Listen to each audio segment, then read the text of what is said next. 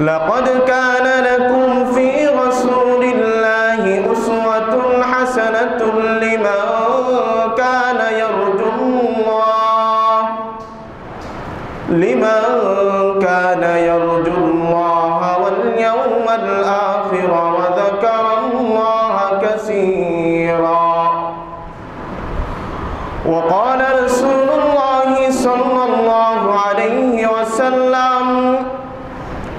لا يؤمن أحدكم حتى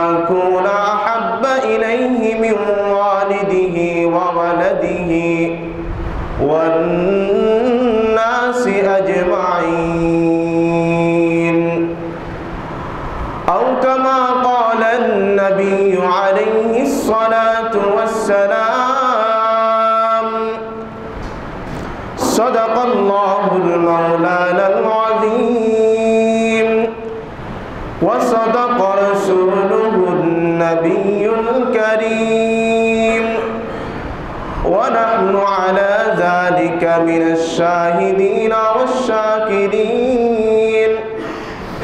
والحمد لله رب العالمين.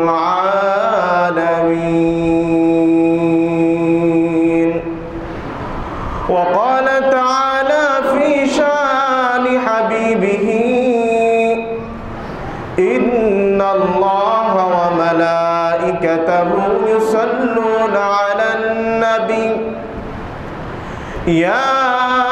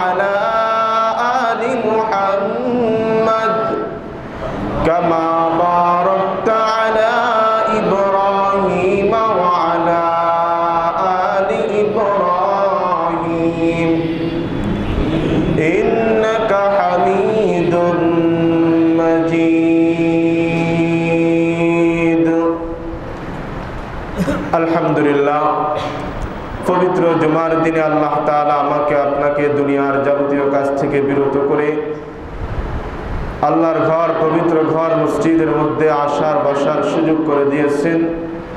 নিয়ামতের শুকর আদার্থে মুসলমান হিসাবে ইমানের আওয়াজকে উঁচু করে ভক্তি এবং মহাব্বতের সাথে সকলে একবার কালিমত শুকর উচ্চারণ করি, আলহামদুলিল্লাহ। মহাজ হাজরিন রসুল সাল্লাহ আলী আসাল্লামের সিরাত নিয়ে আলোচনা চলতেছিল। সিরাতে নবী। রসুল সাল্লাহ আলী আসাল্লামের সিরাত দুইটা জিনিসের সাথে সম্পৃক্ত। একটা হলো সুরত, আরেকটা হলো সিরত।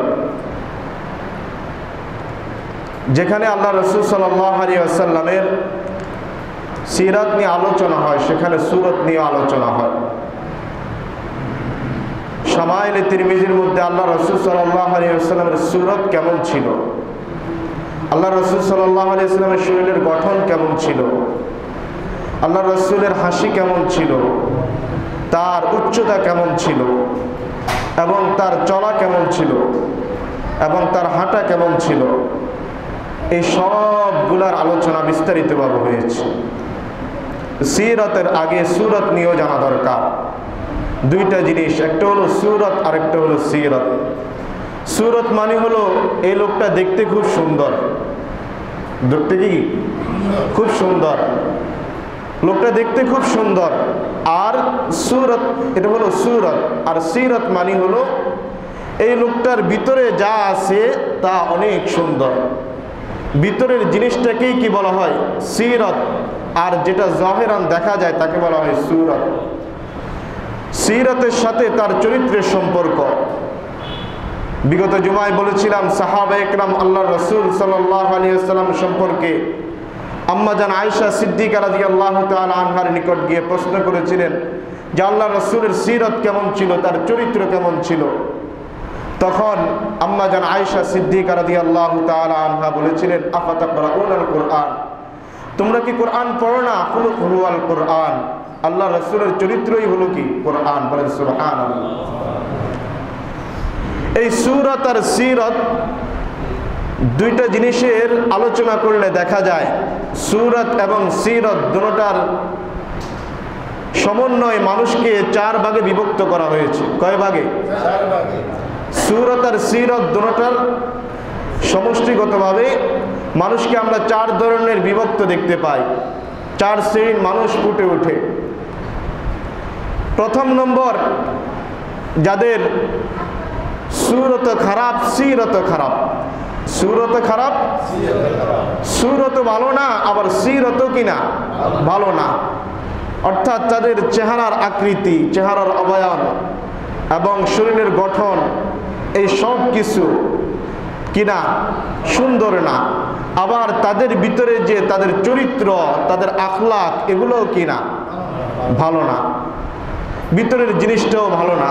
যেমন আফ্রিকার অঞ্চলের যে সমস্ত কাফের মুশ্রিকরা আছে, নিগ্র, কুচ্ছিত চেহারা, চেহারার মধ্যে কোনো কি নাই? সৌন্দর্যতা নাই। আবার তাদের ভিতরে যেটা আছে কুফুরি, সেটাও কি খারাপ? ভিতরে কি নাই? ইমান নাই। ইমান না থাকলে তার ভিতর কি? অন্ধকার, কুফুরি। তো আফ্রিকার অঞ্চলের মানুষগুলা তাদের সুরত যেমন খারাপ সিরত কি? খারাপ। এরা হলো প্রথম শ্রেণি, যাদের সুরত খারাপ সিরত কি? খারাপ। দুই নম্বর, যাদের সুরত ভালো, কিন্তু সিরত কিনা ভালো না। সুরত ভালো, কিন্তু সিরত কিনা ভালো না। সুরত চেহারা খুব সৌন্দর্য। চেহারার মাধুর্যতা আছে, সৌন্দর্যতা আছে। কিন্তু তাদের সিরত কিনা? ভালো না। যেমন মুক্কার, সে আবুল আহাব আবু জাহেল ওদ্বা সাইবা তাদের চেহারা কি ছিল? খুব সুন্দর ছিল। কিন্তু তাদের সিরত কি ছিল না? ভালো ছিল না। কথা বুঝেন নাই? সুরত কি ছিল? খুব সুন্দর ছিল, খুব ভালো ছিল। কিন্তু সিরত কি ছিল না? ভালো ছিল না, ভিতরে ইমান ছিল না। যার কারণে আল্লাহর রসুলকে দেখার পরও তাদের চরিত্র সম্পর্কে ভালোর কোনো কি নাই, সনদ নাই। কথা বুঝে আসছে কিনা? আজকের আমাদের সমাজের ভিতরেও কিছু মানুষ এমন পাওয়া যায়, যাদের সুরত ভালো, দেখতে খুব মানুষের মতো মনে হয়, চেহারার মাধুর্যতা আছে। কিন্তু তাদের চরিত্র হলো কুকুর আর শুয়ারের চেয়ে নিকৃষ্ট। কথা ঠিক আছে কিনা? আজকে আমরা এমন এক সময় এখানে জুমার নামাজ পড়তে আসছি, জুমার নামাজ পড়তেছি। যে সময়ের মধ্যে আমাদের এই জাতি আজকে সারা বিশ্বের মধ্যে কলঙ্কিত হয়ে গেছে। নোয়াখালীর মানুষকে আজকে মানুষ আগে যে সুনাম ছিল এই নোয়াখালী হলো আলেমুল আমাদের ঘাটি, দ্বিতীয় আরব বলা হতো। সেই মাটি কলঙ্কিত হয়ে গেছে। আমাদের মতো কিছু মানুষদের কারণে। যাদের সুরতটা ভালো, কিন্তু সিরতটা হলো কুকুর আর শুয়ারের চেয়ে নিকৃষ্ট। কথা ঠিক আছে কিনা? যারা এই মাটিকে কলঙ্কিত করেছে, যাদের জুলুমের কারণে এই জমিন থেকে মা তার ইজ্জত রক্ষার জন্য চিৎকার করেছে যারা আপনারা সকলেই জানেন আমাদের পার্শ্ববর্তী গ্রামে কি হয়েছে। একজন মহিলার উপর কতগুলা হাইওয়ানা, হাইওয়ান, কতগুলা মানুষরূপী জানোয়ার, যারা কুকুরের চেয়ে নিকৃষ্ট, এমনভাবে তার উপর জাপিয়ে পড়েছে, কুকুরও কখন আর, কখন আরেকটা কুকুরের উপর এইভাবে পড়ে না। ওই মা তার ইজ্জতকে রক্ষা করার জন্য তাদেরকে বাবা পর্যন্ত ডাকছে। কিন্তু তারপরও তাদের হৃদয়ের মধ্যে একটু সহানুভূতি জাগে নাই। কথা ঠিক আছে কিনা? এই জন্য শুধু কেবল সিরত সুরত ভালো হলে হবে না। সিরত কি লাগবে? ভালো লাগবে। এই দুই শ্রেণির মানুষ এরা হলো জাহান্নামি। এরা হলো কি? যাদের সিরত খারাপ সুরত খারাপ। এরাও জাহান্নামি। আর যাদের সুরত ভালো, কিন্তু সিরত ভালো না, এরাও কি? জাহান্নামি। এজন্য মুসলমান শুধু মুখেই দাবি করলে হবে না, সুরতটাকে সুন্দর করলেই হবে না। নিজের ভিতরে রাসুলের আদর্শ ঢুকাইতে হবে। কি আদর্শ ঢুকার আদর্শ ঢুকাইতে হবে? রাসুলের আদর্শ ঢুকাইতে হবে।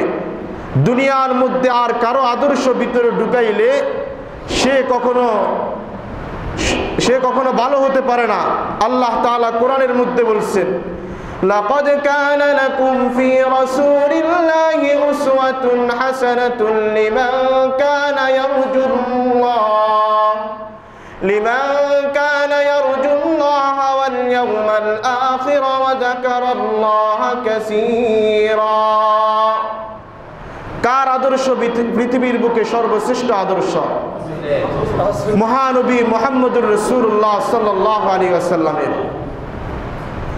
তার আদর্শের চাইতে দুনিয়ার মধ্যে আর কারো আদর্শের মধ্যে এক সত্যতার এবং পবিত্রতার সনদ কেউ দেখাইতে পারবে না কথা ঠিক আছে কিনা আল্লাহ তাআলা কোরআনের মধ্যে স্বয়ং নিজে ঘোষণা করেছেন وَإِنَّكَ لَعَلَى خُلُقٍ عَظِيمٍ উত্তম চরিত্র কার? আল্লাহ রসুলের। এই ছাড়া আর কারও চরিত্রের মধ্যে উত্তমের কোনো সনদ নাই। সবার চরিত্রের মধ্যে কলঙ্কের দাগ আছে। আর আল্লাহ রসুলের ব্যাপারে স্বয়ং আল্লাহ ঘোষণা দিয়েছেন। তাহলে দুইটা বিষয় বলছিলাম। একটা হলো সুরত, আরেকটা হলো সিরত। চার শ্রেণির মানুষ পাওয়া যায় এটার আলোকে। এক নম্বর হলো যাদের সুরত খারাপ, সিরত খারাপ। দুই নম্বর হলো যাদের সুরত ভালো, কিন্তু সিরত কিনা ভালো না। এ সমস্ত মানুষদের চরিত্র কেমন? সুরত দেখে বোঝা যায় না। এদের জন্য যখন সমাজের মধ্যে জুলুম, অত্যাচার বেড়ে যায়, তখন গিয়ে এদের পরিচয় পাওয়া যায়। যখন তাদের হাতে ক্ষমতা পাওয়া যায়, তখন বোঝা যায় তাদের চরিত্র কেমন। কথা ঠিক আছে কিনা? এতদিন পর্যন্ত আমরা ওলামা ইকরাম টুপিওয়ালারা বলতাম যে একজন খুনিকে প্রকাশ্যে জনতার আদালতে তার শিরিচ্ছুত করা হোক, তাকে জনতার আদালতে হত্যা করা হোক, ইসলামী শরিয়া আইন অনুযায়ী শুধু একটা খুনির বিচার যদি শুধু শরীয়ত অনুযায়ী করা হয় বাইতুল মোকাররমের, সে উত্তর গেটের সামনে যদি একজন খুনিকে প্রকাশ্যে যদি কি করা হয়, তার শিরুচ্ছেদ করা হয়, আল্লাহর কসম করে বলতে পারি এই দেশ থেকে দর্শন দূর করতে আর বেশি আইনের প্রয়োজন হবে না। কথা ঠিক আছে কিনা? এতদিন পর্যন্ত এটা শুধু আমরা বলতাম। এখন সাধারণ মানুষ এটা বলে। যে দর্শককে কি করা হোক? প্রকাশ্যে ফাঁসি দেওয়া হোক। সেই শাহবাগের মধ্যে আজকে মিডিয়ার মধ্যে দেখবেন, নারীরা কি করতেছে, চিৎকার করতেছে যে কি করার জন্য?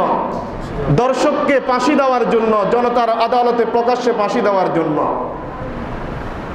আমাদেরকে আগে বলা হইতো যে আলেমোলামা, ইসলাম এই জায়গার মধ্যে কেন এত কঠোর? ইসলাম এই জায়গার মধ্যে কেন এত কঠোরতা করে? যে একজন মানুষ দর্শন করছে আর তাকে কি করে দেওয়া হবে? তার মাথা উচ্ছেদ করে দেওয়া হবে। এটা শুধু আমাদের কথা না, যাকে বলা হয় রহমতুল্লিল আলমিন, যিনি সমস্ত নবীদের নবী, যার দয়ার কোনো শেষ নাই, সেই পয়গম্বর আরবি সাল্লাহ আলী ওয়াসাল্লাম, তিনি পর্যন্ত এই জায়গার মধ্যে কি? খুব কঠোর। হজরত ওসমান ইবনা আফফান রাজি আল্লাহ তালা আনহুর দুধ ভাই আবদুল্লাহ ইবনে সাদ ইবনা আবি সালাহ হজরত উসমান ইবনা আফফান তাকে নিয়ে আল্লাহ রসুলের কাছে আসছেন। আসার পরে আল্লাহ রসুলের কাছে আসছেন আমানের জন্য, নিরাপত্তার জন্য। আল্লাহ রসুল সাল্লাম এর সামনে যখন নিয়ে আসা হলো, আল্লাহ রসুল চেহারাকে এদিকে ফিরাই ফেললেন। তখন উসমান ইবনা আফফান তার দুধবাইকে ওই পাশে নিয়ে গেলেন। আল্লাহ রসুল চেহারাটাকে এইদিকে ফিরাই ফেললেন। এরপরে আবার এই পাশে নিয়ে আসলো। আল্লাহ রসুল চেহারাটাকে আবার ওইদিকে ফিরে ফেললেন। এইভাবে করার পরে ওসমান ইবনা আফফানকে যখন বারবার বলতেছে, আমান দিয়ে দেন, তখন আল্লাহ রসুল বললেন, আমান দিয়ে দিলাম। চলে গেল। আল্লাহ রসুল সাহাবিদেরকে বললেন, এই তোরা কি কাজ করলি? কেন তোরা সুযোগটা গ্রহণ করলি না? আমার সামনে যখন তাকে নিয়ে আসা হলো, আমি বারবার চেহারাকে এইদিকে ফিরাই, ওইদিকে ফিরাই। তখন কেন তোরা হত্যা করে ফেললি না? কেন তোরা বুঝলি না আমি তার প্রতি নাখোশ? তখন সাহাবা ইকরাম বললেন, ইয়া রসুল আল্লাহ আপনি আমাকে, আমাদেরকে একটু ইশারা করলেই তো হতো। আপনি আমাদেরকে ইশারা করে একটু বলতেন। তখন আল্লাহ রসুল বলছেন, নবীদের কাজ নয় কখনো ইশারায় কোনো কিছু করা। নবীরা যা বলেন, যা করেন, সব প্রকাশ্যেই করেন। কীভাবে করেন? প্রকাশ্যেই করেন। নবীদের কাজ, পয়গম্বরদের কাজ তাদের কাজ হলো প্রকাশ্যে বলা, সত্যকে কখনো তারা আর চোখে বলেন না, ইশারা ইঙ্গিতে বলেন না। হককে হক হিসাবে প্রকাশ্যে বলা হয়, প্রকাশ্যে তারা বলেন। এই জন্য ওলামা ইকরাম যা বলেন প্রকাশ্যে কি করেন? বলেন, কোনো ধরনের হেকমতের সাথে কোনো কি নাই, কথা নাই। যা বলা হবে ইসলামের কথা, হক কথা, সঠিকভাবে কি করতে হবে? বলতে হবে, প্রকাশ্যে বলা হবে। কথা বুঝে আসছে কিনা?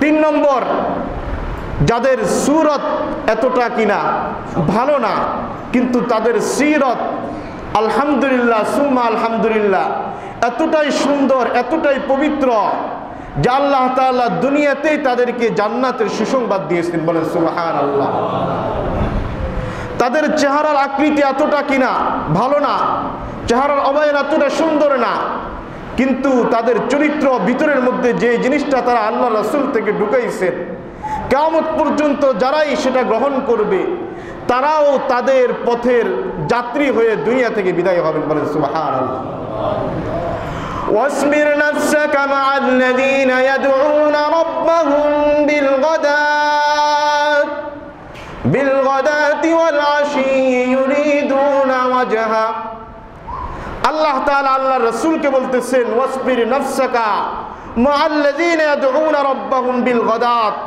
আপনি আপনাকে সব সময় সর্বদা ওই সমস্ত মানুষদের সাথে নিয়োজিত রাখুন, যারা সকাল সন্ধ্যায় আল্লাহকে ডাকতে থাকে। বলেন সুবহান আল্লাহ কাকে ডাকতে থাকে? আল্লাহকে ডাকতে থাকে। তাদের চেহারার আকৃতি যদিও নাকি এত সুন্দর না, তাদের পোশাক আশাক যদিও নাকি এত সুন্দর না, কিন্তু তারা সকাল সন্ধ্যা কাকে ডাকে? রবকে ডাকতে থাকে। আর রব তাদের প্রতি কি? রাজি হয়ে গেছে। বলেন সুবহান আল্লাহ তিন নম্বর যে সমস্ত শ্রেণির মানুষের কথা বলছিলাম, যাদের সুরত ভালো না, কিন্তু সিরত ভালো। এদের উদাহরণ হলো আল্লাহ রসুলের সাহাবি, জলিলুল কদর সাহাবি হজরতে বেলাল হাফসি রাজি আল্লাহ কে? হজরতে বেলাল হাফসি রাজি আল্লাহ বেলাল রাজি আল্লাহ তালানুর চেহারা কি ছিল না? এতটা ভালো ছিল না, খুবই কালো মানুষ ছিল। মুসলমান ইমানদার, পয়গম্বর সাহাবি হযরত বেলাল রাদিয়াল্লাহু তাআলা আনহু কেমন কালো ছিলেন? দুনিয়ার জীবনে মানুষ যতই কালো হোক না কেন, মানুষের হাতের তালুটা কিন্তু একটু সাদা হয়। কথা ঠিক আছে কিনা? হাতের তালু কি হয়? একটু সাদা হয়। মানুষ যতই কালো হোক, তার হাতের তালু আর এই দুই ঠোঁটের মাঝখানের জিনিসটা সাদা থাকে। কিন্তু বেলাল হাফসি রাদিয়াল্লাহু তাআলা আনহু এত কালো ছিলেন যে এত কালো। হযরতে বেলাল হাফসির হাতের তালুটাও পর্যন্ত কালো ছিল। বেলাল হাফসির চেহারার মধ্যে সৌন্দর্য বলতে কিছুই ছিল না। কিন্তু ভিতরের মধ্যে এমন জিনিস ঢুকাইছেন, চরিত্রটা এত ভালো ছিল।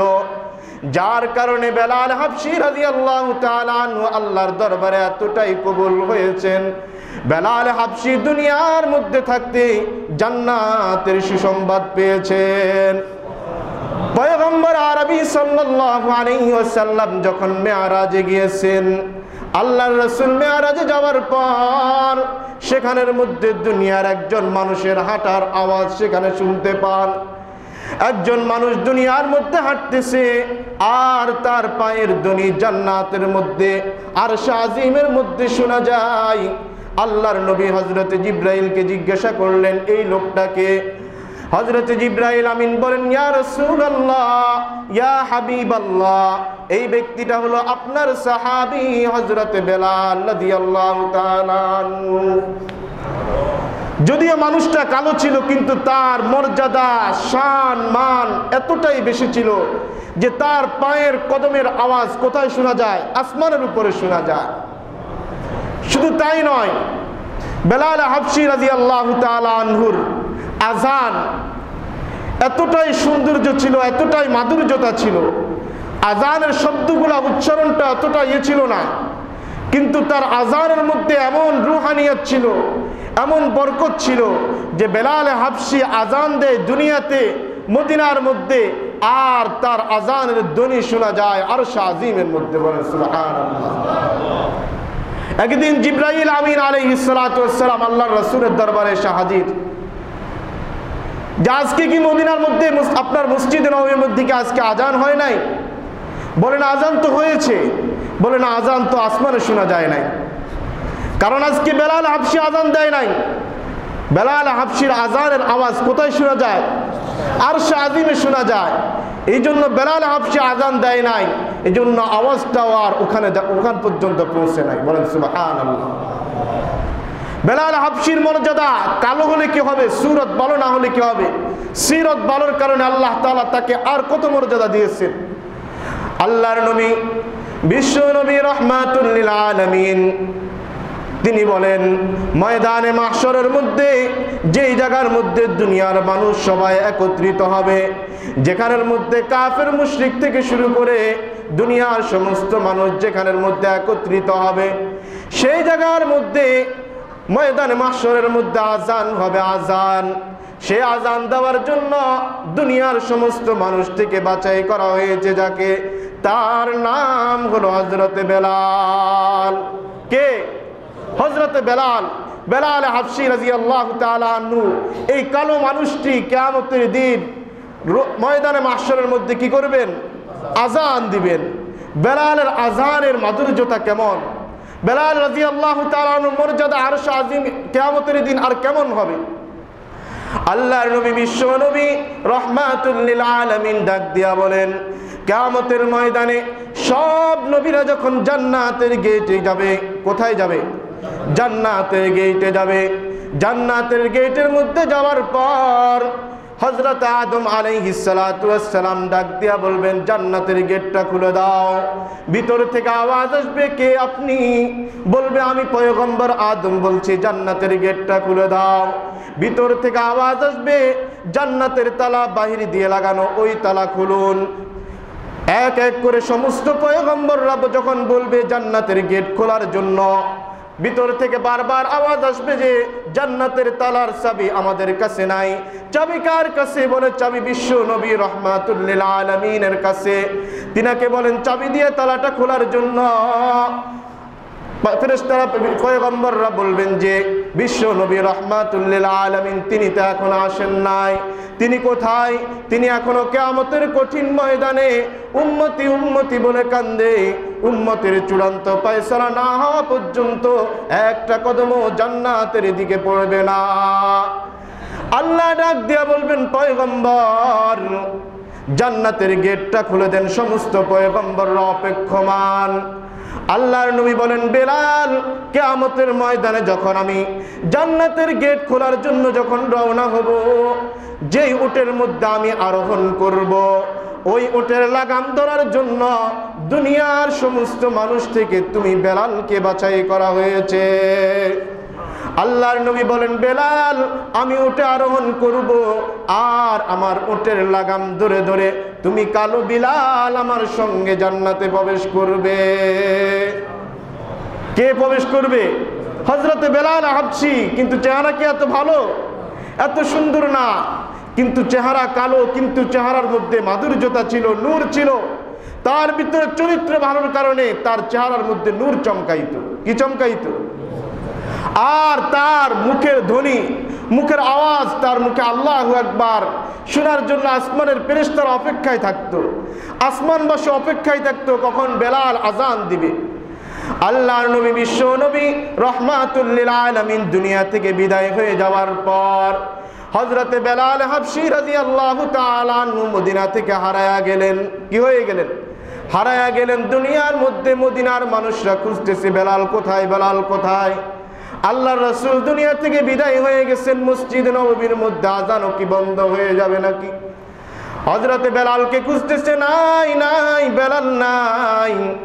দীর্ঘদিন পরে হজরতে বেলাল হাফসির পায়ের কদমের আওয়াজ শোনা গেল মদিনায়। সমস্ত সাহাবারা এসে হাজির হয়ে গেল হজরত বেলাল হাফসির সামনে। আর বেলালকে সবাই আহ্বান করতেছে, ভাই বেলাল অনেক দিন পর্যন্ত তোমার মুখের আওয়াজ শুনতে পাই না। অনেক দিন পর্যন্ত মদিনার মিনারার মধ্যে তোমার আজান শুনতে পাই না। আজকে একটু তোমার মুখের আজান শুনতে চাই।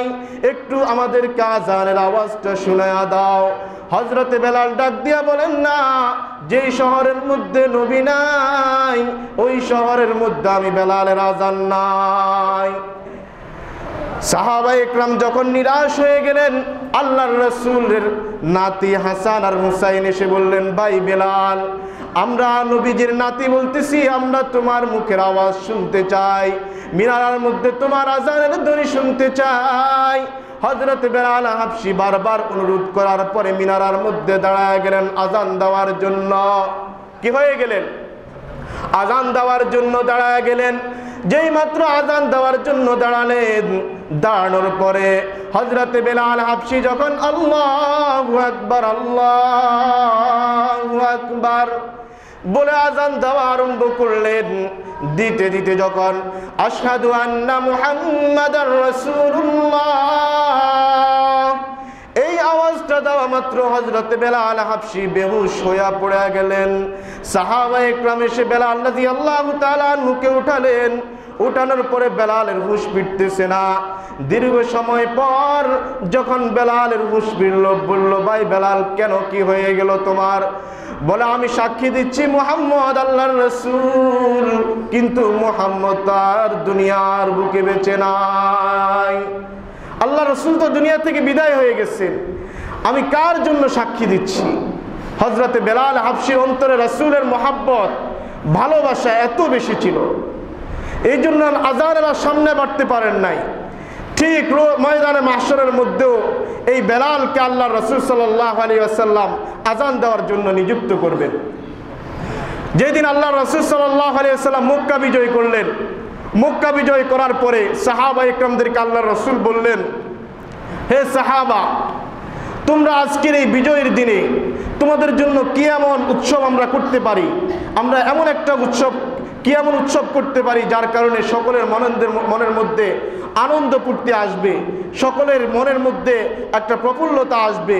আজকের এই বিজয়ের দিন আমরা কি এমন কাজ করতে পারি বিজয়ের উদযাপনের জন্য? সমস্ত সাহাবা ইকরাম এক বাক্যে সবাই বললেন, আজকের এই মক্কা বিজয়ের দিনে আমরা বেলাল হাফসি রাজি আল্লাহ তালানুর আজান শুনতে চাই, বলেন সুবহান আল্লাহ কার আজান শুনতে চাই? বেলালের আজান শুনতে চাই। আল্লাহ রসুল আলিয়াল্লাম বেলালকে বললেন, বেলাল, যাও, তুমি আজান দাও। তবে আজান আজকে দিবা।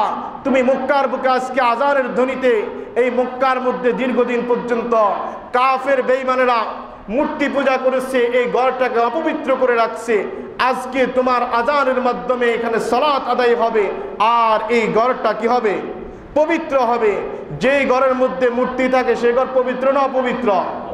অপবিত্র। আল্লাহ রসুল বিন্না হাদিসের ভিতরে বলেন, যেই ঘরের মধ্যে কোনো জীবজন্তুর ছবি থাকে, ওই ঘরের মধ্যে কখনো রহমতের পেরেশটা আগমন করেন না। এই জন্য আল্লাহ রসুল মুক্কা বিজয় করার পরে এই মূর্তিগুলা সবগুলা কি করছেন? ভেঙ্গে ফেলছেন। আজকে মুসলমানের ঘরে ঘরের মধ্যে মূর্তি আছে। ফুতুলের নাম দিয়ে, খেলাধুলার নাম দিয়ে আজকে আমরা ঘরের মধ্যে মূর্তি ঢুকায়া ঘরটাকে অপবিত্র বানাইছি নাকি পবিত্র বানাইছি? অপবিত্র বানায় রাখছি। হজরতে বেলাল হাফসিকে আল্লাহ রসুল বললেন, যাও, তুমি আজকে আজান দাও। তোমার আজানের আওয়াজ শোনার জন্য আজকে এখানে হাজার হাজার সাহাবা এখানের মধ্যে একত্রিত হয়েছে। তারা তোমার আজানের ধ্বনি শুনতে চায়। হজরতে বেলাল হাফসিকে বললেন আজান যে দিবা, কোথায় দিবা? আজান তোমাকে দিতে হবে মক্কার বাইতুল্লাহর সাদের উপরে গিয়ে আজান দিতে হবে। কোথায় গিয়ে? বাইতুল্লাহর সাদের উপরে গিয়ে তোমাকে আজান দিতে হবে। কেন বাইতুল্লাহর সাদের উপরে আজান দিতে হবে? কারণ হলো একজন মুমিনের মর্যাদা এই বাইতুল্লাহর চেয়েও বেশি। বলেন সুবহান আল্লাহ দুনিয়াবাসী দেখুক যে বাইতুল্লাহর চেয়ে একজন মুমিনের মর্যাদা অনেক অনেক গুণ বেশি। এই জন্য আল্লাহ রসুল হাদিসের ভিতরে আসছেন। আল্লাহ রসুল একদিন বাইতুল্লার পাশে গিয়ে বাইতুল্লার সামনে গিয়ে দাঁড়া বলতেছেন, মা আজামাকা ও আজামা উর্মাতাকা, ওয়াল্লাহি আজামাল মুমিন মিনকা। আল্লাহর নবী বাইতুল্লাহকে লক্ষ্য করে বলতেছেন, হে বাইতুল্লাহ তোমার মর্যাদা তোমার মান তোমার মর্যাদা অনেক অনেক গুণ বেশি তবে শুনে রাখো তোমার মর্যাদা যতই বেশি হোক না কেন আমার একজন মুমিন বান্দার চেয়ে তোমার মর্যাদা কখনো বেশি না কারণ কি কারণ কি কারণ আল্লাহর রসুল হাদিসের ভিতরে বলেছেন قال رسول الله صلى الله عليه وسلم لا تقوم الساعة حتى يقال في الأرض الله الله আল্লাহর রসুল বলছেন কেমন ততক্ষণ পর্যন্ত সংগঠিত হবে না। যতক্ষণ পর্যন্ত দুনিয়ার মধ্যে আল্লাহ আল্লাহ বলনেওয়ালা ইমানদার দুনিয়ার মধ্যে বাকি থাকবে। আল্লাহর রসুল হাদিসের ভিতরে বলেন নাই, কেয়ামত ততক্ষণ পর্যন্ত সংগঠিত হবে না। যতক্ষণ পর্যন্ত এই জমিনের মধ্যে বাইতুল্লাহ থাকবে। এমনটা বলছেননি। কি বলছেন? কেয়ামত ততক্ষণ পর্যন্ত সংগঠিত হবে না। যতক্ষণ পর্যন্ত দুনিয়ার বুকে ইমানদার আল্লাহ আল্লাহ বন্যওয়ালা দুনিয়ার মধ্যে না থাকবে, ততক্ষণ পর্যন্ত কেয়ামত সংগঠিত হবে না। কারণ হলো ইমানদারের মর্যাদা বাইতুল্লাহর চেয়ে অনেক অনেক গুণ বেশি বলে সুহান আল্লাহ এই জন্য ইমানদার বাইতুল্লাহ দুনিয়ার মধ্যে থাকলে কেয়ামত হয়ে যাবে, কিন্তু ইমানদার না ইমানদার থাকলে কি হবে না? কেয়ামত হবে না। এই জন্য একজন ইমানদারের মর্যাদা একজন বাইতুল্লাহর চেয়ে অনেক অনেক গুণ বেশি। এটা বোঝানোর জন্য আল্লাহ রসুল হজরতে বেলালকে বললেন, তুমি বাইতুল্লাহর সাদুর উপরে গিয়ে আজান দাও। কোথায় গিয়ে আজান দাও? সাদুর উপরে গিয়ে আজান দাও, যাতে করে দুনিয়ার মানুষ বুঝে যে বাইতুল্লাহর চেয়েও একজন ইমানদার মুমিনের মর্যাদা কত বেশি। আজকে তো আমরা জানি না আমাদের মর্যাদা কত বেশি, আমাদের শান কোথায়, আমাদের মান কোথায়। আল্লাহ তাআলা এই দুনিয়াটাকে মানুষদের জন্য তো সুন্দর করে সাজাইছেন। আর আমরা সে মালিককে চিনি না। সে মালিককে কি করি না? চিনি না। আমরা নিজেদেরকে চিনি না। যে আমাদের জন্য আল্লাহ তালা জান্নাত সাজায়া রাখছেন। কি করে রাখছেন? জান্নাত সাজায়া রাখছেন। কার জন্য? আমাদের জন্য, নাকি পশু পাখিদের জন্য? কার জন্য? ইমানদারের জন্য। আর ইমানদারের কাজ হলো শুধু কি করা? আবাদত করা। ওয়ামা ইল্লা তাহলে বেলাল হাবশি রাজি আল্লাহ আনহু, তার এত শান আর মর্যাদা, তার আজান এত মাধুর্যতা, এতটাই তার রুহানিয়াত যার শাজিমে তার আজানের কি শোনা যায়? ধ্বনি শোনা যায়। এজন্য কবি বলেন রাহ গায়ার উসমে আজার রুহ বেলানি নারাহি রাহ উসমে আজার রুহ বেলানি নারাহি ফলসফা রাহ গাই তলকিন মজামি নারাহি ফলসফা রাহ গিয়া তলখিন মজামি নারাহি বেলাল হাবশির সে আজান আজও পর্যন্ত মসজিদের মিনারার মধ্যে শোনা যায় কেমত পর্যন্ত বেলাল হাবশির সে আজানের ধ্বনি, সেই সিস্টেম কেমত পর্যন্ত থাকবে। আজানের আওয়াজ শোনা যাইবে, কিন্তু বেলাল হাফসির আজানের মধ্যে যেই রুহানিয়ত আছে, ওই রুহানিয়ত কেমত পর্যন্ত আর পাওয়া যাবে না। রাহগাই রাহগায়া রুসমে আজার, রুহে বেলালি নারাই। বেলালের আজানের রুসম আদৌ পর্যন্ত আছে, কিন্তু বেলালের আজানের যে রুহানিয়াত, এটা আর কখনো পাওয়া যাবে না। বেলালের আজানের রুহানিয়তের কারণে তার আজান আসমানে পৌঁছানো যাইত। আজকে আমাদের আজান হয়, কিন্তু সেই রুহানিয়াত নাই। কথা বুঝে আসছে কিনা? তাহলে চার শ্রেণির মানুষের কথা বলছিলাম। এক শ্রেণির মানুষ হলো যাদের সুরত খারাপ, সিরত খারাপ। দুই নম্বর, যাদের সুরত ভালো, কিন্তু সিরত খারাপ। তিন নম্বর, যাদের সুরত ভালো, সুরত খারাপ কিন্তু সিরতটা কি? অনেক ভালো। এজন্য আমাদের দেশে একটা কথা আছে, জাতের মেয়ে কালো ভালো, নদীর পানি গোলা ভালো। কথা বুঝে আসছে কিনা? সুরত ভালো হলে এটাকে কি বলে না? ভালো বলে না, চরিত্র ভালো হওয়া দরকার। চরিত্র ভালো হলে তখন ওই লোকটা কি হয়ে যায়? দামি হয়ে যায়। ওই লোকটা কি হয়ে যায়? দামি হয়ে যায়। এজন্য আজকে আমাদের দেশের মধ্যে রাসুলের সিরত নিয়ে আলোচনা হয় না। রাসুলের মিরাত নিয়ে আলোচনা হয়। কারণ সিরত নিয়ে আলোচনা করতে গেলে তো নিজেই ধরা খেয়ে যাবে। কারণ আমরা দেখতে মানুষ মনে হয়, কিন্তু আমাদের ভিতরের চরিত্রটা কুকুর, হাইওয়ান জানোয়ার চেয়ে নিকৃষ্ট হয়ে গেছে। কথা ঠিক আছে কিনা? যার কারণে আজকে বাবার কাছে তার মেয়ে আজকে নির- নিরাপদ না, ভাইয়ের কাছে তার বোন আজকে নিরাপদ না। আজকে পেপার পত্রিকার মধ্যে, মিডিয়ার মধ্যে অহর অহর ঘটনা পাওয়া যায়। বাবা তার মেয়েকে দর্শন করেছে। নিউজ আসছে কিনা? বাবা তার মেয়েকে কি করছে? দর্শন করছে। এরপরে ভাই তার বোনের সাথে খারাপ কাজ করেছে। ভাই তার বোনকে দর্শন করেছে। নিউজ আছে কিনা? স্বামী তার স্ত্রীকে পর পুরুষ দিয়ে দর্শন করাইছে। এমন নিউজ এই বাংলাদেশের মধ্যে পাওয়া যায়। কথা ঠিক আছে কিনা? এর কারণ হলো আমাদের চরিত্র ঠিক নাই। কি ঠিক নাই? চরিত্র ঠিক নাই। এই চরিত্র ঠিক না থাকার কারণে আজকে আমার কাছে যেই মেয়ের জন্য পৃথিবীর বুকে সবচেয়ে নিরাপদ স্থান হলো তার বাবা। আজকে সেই বাবার কাছে তার মেয়ে কিনা নিরাপদ না। বাবার কাছে মেয়ে নির্যাতিত হচ্ছে, ভাইয়ের কাছে বোন নির্যাতিত হচ্ছে, স্ত্রীর কাছে, স্বামীর কাছে স্ত্রী নির্যাতিত হচ্ছে। এই সবগুলার কারণ হলো আমাদের চরিত্র খারাপ হয়ে গেছে। কি খারাপ হয়ে গেছে? এই জন্য আসুন নবীজির সিরত নিয়ে আলোচনা করুন। নবীজির সিরতের মধ্যে দেখুন, পড়তে থাকুন আলোচনা করতে থাকুন, গবেষণা করতে থাকেন। নবীজির সিরতের মধ্যে, সিরত যত বেশি আলোচনা করবেন, আপনার চরিত্রের মধ্যে দুই নম্বরে সব ফুটে উঠবে। কি উঠবে? ফুটে উঠবে। আজকে আমাদের সিরত কি, নবীজির সিরত কি শুধুমাত্র নিজের খায়সতকে কন্ট্রোল করা নাকি? নাকি দুনিয়ার সব কিছুর মধ্যে সিরতের সম্পর্ক? আপনি চাকরি করতে যাবেন, সেখানে সিরতের সম্পর্ক। আপনার নীতির মধ্যে সিরতের সম্পর্ক। সবচেয়ে বেশি কষ্ট লাগে তখন, যখন দেখি পঞ্চাশ হাজার টাকা বেতনের চাকরি করেনেওয়ালা ব্যক্তি, আমাদের মতো পাঁচ হাজার টাকার চাকরি পাঁচশো হাজার টাকার বেতনে চাকরি করেনেওয়ালা ব্যক্তিদের কাছে ঘুষ চায়। এটা হচ্ছে আর হতাশার কোনো কিছু আছে? মাসে পঞ্চাশ হাজার টাকা তার সরকারি বেতন, সত্তর হাজার টাকা সরকারি বেতন, লক্ষ টাকা তার সরকারি বেতন। কিন্তু এই লোকটা একটা ফাইল পাঁচশো টাকার জন্য উঠায় না। কথা ঠিক আছে কিনা? পাঁচশো টাকার জন্য একটা ফাইলের মধ্যে সে চিকনিচার করে না। তার ঘুষ বিদিত হচ্ছে চলবে না। আজ থেকে কয়েক বছর আগের ঘটনা। আমি যে এক জায়গার মধ্যে একটা মসজিদে তারা আমি পড়াতাম। সেখানের মসজিদের সেক্রেটারি সেক্রেটারি সে বলতেছে, সরকারি অফিসার সে বলতেছে, আমি তো সরাসরি ঘুষ খাই না কখনো। আমি এমনি মানুষ থেকে টাকা নেই, ঠিক আছে। বাকি সরাসরি কি করি না? ঘুষ খাই না। তো ঘুষ কীভাবে আমি তো আমি ঘুষ খাই না। আমি মানুষ থেকে বাড়তি কাজের কি নিচ্ছি? তাদের থেকে ট্যাক্স নিচ্ছি। আপনি বাড়তি কাজ কীভাবে করেন? তো আমার অফিসের টাইম হচ্ছে তিনটা পর্যন্ত। কয়টা পর্যন্ত? তিনটা পর্যন্ত। তো মানুষজন যাদের কাগজপত্রে জামিলা আছে চিকনিচার করতে হবে, সাইন করতে হবে এই সমস্ত মানুষদেরকে বলে যে তিনটার পরে আসবেন। কয়টার পরে? তিনটার পর আসবেন। তো তিনটার পর আমার সরকারি চাকরির যে ডিউটি ছিল, ওটা কি হয়ে গেছে? শেষ হয়ে গেছে। এখন যে কাজটা করতেছি, এটা আমার নিজের কাজ। এটা আমি বাড়তি করতেছি। এটার জন্য আমি কি করতেছি? টাকা নিতেছি। আপনি বলেন মদের বোতলে যদি উপরের মধ্যে যদি মধু লিখে দেওয়া হয় মদ কি কখনো মধু হয়ে যাবে? বিষের বোতলের মধ্যে যদি উপরে মধু লিখে দেওয়া হয় বিষ কখনো মধু হবে? হবে না।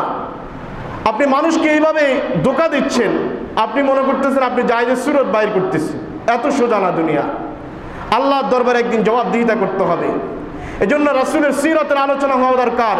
সিরাতুন নবী রাসূল সাল্লাল্লাহু আলাইহি সাল্লামের 23 বছরের জিন্দেগি পুরোটাই হলো সিরাত। হজরতে বেলাল হাবশি সাহাবা একরাম তাদের জীবনের প্রতিটা কদমে কদমে রাসুল সাল্লাল্লাহু আলাইহি সাল্লামের সিরতকে অনুসরণ করেছেন। এজন্য আল্লাহ তাআলা দুনিয়ার মধ্যে তাদেরকে জান্নাতের সুসংবাদ দিয়েছেন।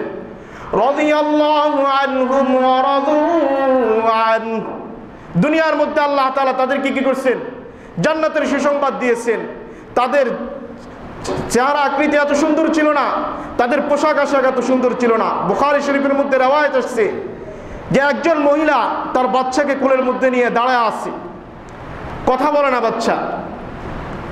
আর মহিলার সামনে দিয়ে একজন ব্যক্তি যাইতেছে। দেখতে খুব স্মার্ট পোশাক, আশাক সব কিছু খুব সুন্দর, খুব স্মার্ট মনে হয়। মা তার বাচ্চাকে কোলে নিয়ে, বাচ্চা কথা বলে না, অনেক দিন হয়ে গেছে। বাচ্চার বয়স হয়ে গেছে, কিন্তু কথা বলতেছে না। মা বলতেছে, হে আল্লাহ, আমার এই বাচ্চাটাকে এই ব্যক্তির মতো করে দাও। আর বাচ্চা সঙ্গে সঙ্গে মুখ খুলে বলতেছে আমার হে আল্লাহ, আমাকে এর মতো করিও না। এরপরে কিছুক্ষণ পরে আরেকজন ব্যক্তি যাইতেছে, তার চেহারা এতটা সুন্দর না, তার পোশাক আশাক এতটা ভালো না। মা বলতেছে, হে আল্লাহ, আমার বাচ্চাটাকে এর মতো করিও না।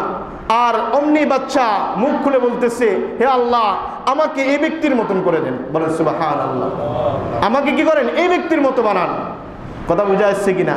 সুরতের নাম কি না? মানুষ না। সুরত, সিরত দুটার নামই হলো মানুষ। এই জন্য আজকের সমাজের ভিতরে আমরা বহু মানুষ আছি। গরিব মানুষ, শিক্ষা চালায় গরিব মানুষ। আমরা মনে করি আমি কি আল্লাহর অলি হইতে পারব কিনা? আপনার জন্য আল্লাহর অলি হওয়া সহজ। কারণ হজরতে বেলাল হাফসি তার চেহারা কি ছিল না? সুন্দর ছিল না। খেটে খাওয়া মানুষ ছিল। সে বেলাল হাফসি জান্নাতের সুসংবাদ পেয়েছেন। কিসের কারণে? সিরতকে জীবনের সাথে মিলানোর কারণে, সিরতকে আঁকড়ায়া ধরার কারণে। এজন্য আমরা সিরতকে আঁকড়ায়া ধরবো। চার নম্বর, চতুর্থ শ্রেণির মানুষ যাদের সুরত ভালো, সিরত ভালো। যাদের সুরত ভালো, সিরত ভালো।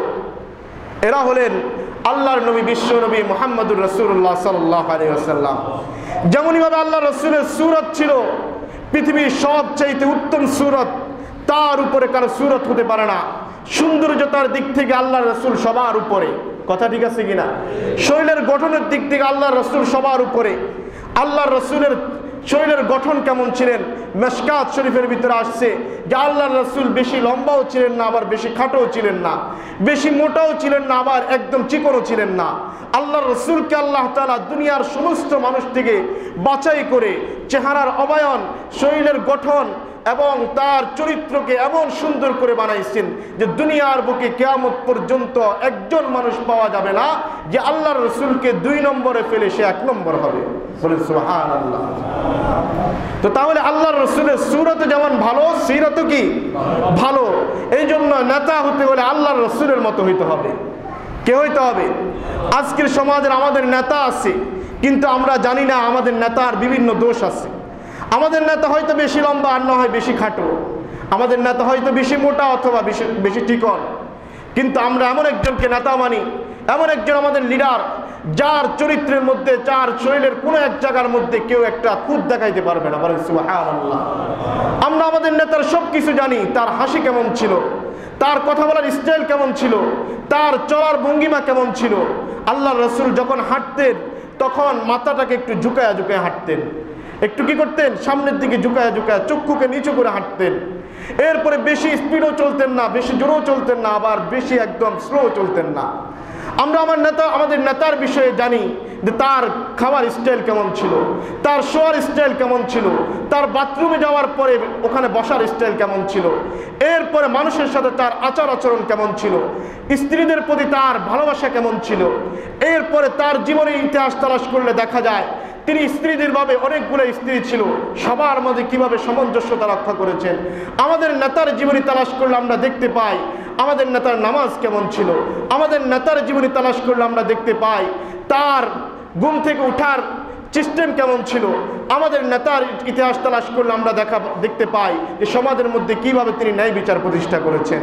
এই জন্য তার চরিত্রের চাইতে দুনিয়ার আর কারও চরিত্র, শ্রেষ্ঠ চরিত্র হতে পারে না। আল্লাহ তাআলা এই জন্যই বলছেন, লাকাদ হাসানা। কানা ইয়ারজুল্লাহ। ওয়াল যারা কেয়ামত দিবসের আশা রাখে, কেয়ামত দিবসের প্রতিদান দিবসের জন্য আল্লাহর সাথে মোলাকাতের আশা রাখেন, তাদের জন্য আল্লাহ রাসূলের জীবনের মধ্যে উত্তম আদর্শ রয়েছেন। কি রয়েছেন? উত্তম আদর্শ রয়েছেন। ভিন্ন হাদিস তেলাওয়াত করেছে, হাদিসের ভিতরে আল্লাহর রসুল বলেন, লা আহাদুকুম হাত্তা আকুনা হাব্বা ইলাইহি মিন ওয়ালিদিহি ওয়া ওয়ালাদিহি ওয়ান আজমাইন। পরিপূর্ণ ইমানদার যদি হইতে হয়, যেই ইমানদারদের ব্যাপারে বলা হয়েছে, তারা জমিনের মধ্যে থাকলে কেয়ামত কায়েম হবে না। এরকম যদি পরিপূর্ণ ইমানদার হইতে হয়, তাহলে দুনিয়ার সবার চেয়ে সব ক্ষেত্রে আল্লাহ রসুলের মহাব্বত সবার উপরে থাকা লাগবে। সবার উপরে থাকা লাগবে আল্লাহ রসুলকে মহাব্বত করব। তিনি যেভাবে সমাজের মধ্যে চলছেন, সেভাবে তাকে মহাব্বত করব। সেই দৃষ্টিকোণ থেকে মহাব্বত করব। আল্লাহ রসুলের নামাজের দৃষ্টিকোণ থেকে আল্লাহ রসুলের মহাব্বত করব। আল্লাহ রসুলের রাজনৈতিক দর্শনের দিক থেকে আমি আল্লাহ রসুলকে মহাব্বত করব না তাহলে আমি কখনো পরিপূর্ণ ইমানদার হতে পারব না আল্লাহ রসুলকে মহাব্বত করা মানে হলো, তাকে ভালোবাসা অন্তরে তার ভালোবাসা রাখলাম না তার আদর্শ গ্রহণ করা তার প্রত্যেকটা সেক্টরে, প্রতিটি ক্ষেত্রে রাসুলের আদর্শ গ্রহণ করাকেই বলা হয় রাসুলের মোহাব্বত, রাসুলের ভালোবাসা। আর এমন ভালোবাসা যারা দুনিয়ার মধ্যে স্থাপন করতে পারবে, তাদের ব্যাপারে আল্লাহ রসুল বলছেন, দুনিয়ার বুকে এরাই হলো খাঁটি ইমানদার বলে সুহান আল্লাহ আল্লাহ রসুল সাল্লাহ আলিয়া সাল্লামের এই সিরত সিরাতুন নবী তার এই সিরাতের আলোচনা থেকে আমাদের মানুষকে আমরা মানুষ হিসাবে, আমরা আমাদের সুরতকে যেমন, যাদের সুরত ভালো, তাদের যেন চরিত্রটাও ভালো হয়ে যায়। আর যাদের সুরত ভালো না, তারা অন্তত যেন সিরতটাও কি করে নেন? ভালো করে নেবে ইনশাআল্লাহ। তাহলে আমরাই হব জান্নাতের মেহমান। আল্লাহ তালা আমাদের সকলকে কবুল করুন। ও আখির দাওয়ানা আলহামদুলিল্লাহি রাব্বিল আলামিন।